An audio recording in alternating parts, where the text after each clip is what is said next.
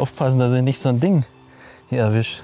Dann müsste ich theoretisch mal einen äh, Doktor suchen hier. Scheiße. Ja, hallo und herzlich willkommen bei meinem neuen Video hier auf einen wunderschönen Acker, wo ich mir gedacht habe, Mensch, heute schnappe ich mir mal den C-Scoop 6MX und wir schauen uns mal gemeinsam die Einstellungen an. Er hat natürlich nicht sehr viel, aber genau die richtigen, damit wir auf jeden Fall viel Spaß haben bei der Suche. Da ist ein Feature mit dabei, ist echt klasse. Und ähm, ja, es ist ein analoges Gerät, selbstverständlich. Die darf man nicht unterschätzen, weil ich finde die richtig toll. Klar, momentan sind mehr die digitalen Versionen voll in, aber ich suche sehr gern mit dem 6MX. Also auf geht's. Wir fangen jetzt auch mal an mit den Einstellungen vom C-Scoop 6MX. Und zwar haben wir hier 1, 2, 3, 4, 5 Drehregler plus diesen Pinpoint-Hebel. wenn man den hier betätigt, dann kann man hier die Pinpoint-Funktion aktivieren. Wir können hier mit der Sensibilität, das ist auch gleichzeitig der An- und Ausschaltknopf und der Power-Knopf. Das heißt, ich, ich schalte jetzt hier den Detektor an und werde auch gleichzeitig die Sensibilität so weit wie möglich aufdrehen. Also ich nehme immer so zwischen 8 und 9 und dann ähm, ist das soweit schon okay. Dann beim Bodenabgleich haben wir hier die Möglichkeit bei diesem Drehregler Ground haben wir äh, Automatik oder wir können hier manuell von 1 bis 9 ähm, den Bodenabgleich individuell einstellen, wenn die Mineralisierung eher ein Problem ist. Ne? Ansonsten würde ich empfehlen, Automatik ähm, zu aktivieren. Da kommt man in der Regel gut voran. So, Iron Voll, das ist Eisenlautstärke.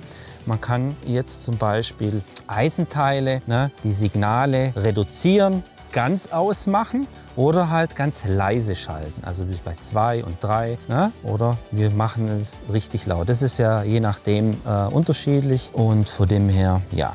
Kommen wir jetzt zu dem rechten Teil, der ist sehr interessant und zwar haben wir hier einmal die Disk und einmal die Disk Lautstärke. Die zwei haben was miteinander zu tun. Und zwar, wenn ich die Disk auf 1 habe, reagiert der Detektor bei jedem Objekt mit einem schrillen Ton. Ne? So, wenn ich aber jetzt im Uhrzeigersinn den Drehknopf drehe, werden die weniger leitende Metalle dann mit einem Mittelton ersetzt. Ne?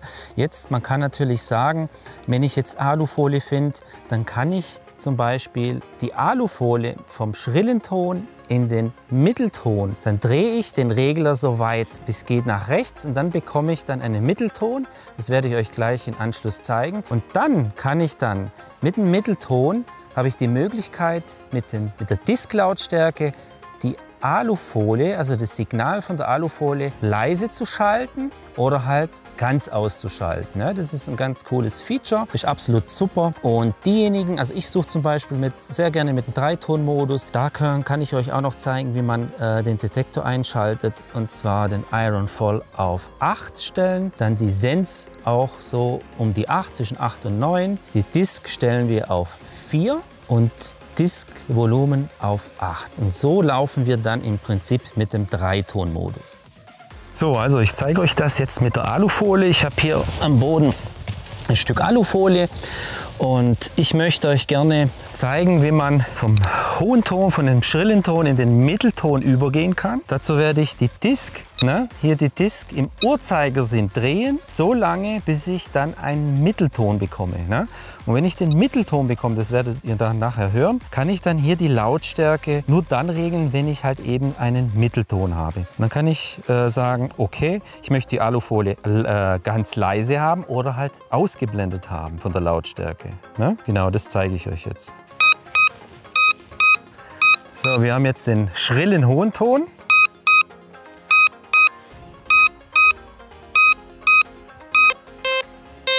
So.